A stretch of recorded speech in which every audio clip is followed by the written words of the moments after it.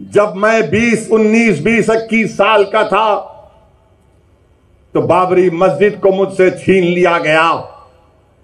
अब हम वही 19, 20 साल के बच्चों की की आँखों के सामने दोबारा मस्जिद को नहीं खोएँगे इंशाअल्लाह ताला।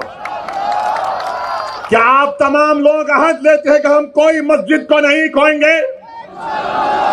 क्या आप अहद लेते हैं कि अब हम कोई मस्जिद को नहीं खोएँगे? अगर अहद लेते हैं तो हाथ उठा कर कहिए, नारे तकबीर। नारे तकबीर। इनको पैगाम मिलना चाहिए। मस्जिद को अब हम नहीं खोएँगे।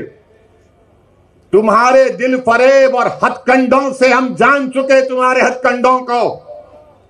और अल्लाह के रसूल सल्लल्लाहु अलैहि वसल्लम का दी शरीफ है कि मोमिन वो है जो दो बार एक सुराख से नहीं डसा जाता।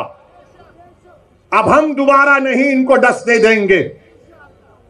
मस्जिद है और रहेगी इंशाअल्लाह ताला सुबह कयामत तक। ज्ञानवापी मस्जिद मस्जिद थी और जब तक अल्लाह दुनिया को कायम रखेगा, मस्जिद रहेगी इंशाअल्लाह ताला। और हमारा काम यह है कि हम अपने मस्जिदों को आबाद रखें। हमारी भी ज़िम्मेदारी है कि रमज़ान हो गया तो मस्जिद के दरो दीवार तरसती है कि कहाँ गए वो लोग? जो रमज़ान के तीस दिन अल्लाह के घर में आकर सर्वसजूद हो रहे थे तो याद रखो, मस्जिदों की हिफाजत पहले हमको अपनी महल्लों की मस्जिदों को आबाद रख के रखना।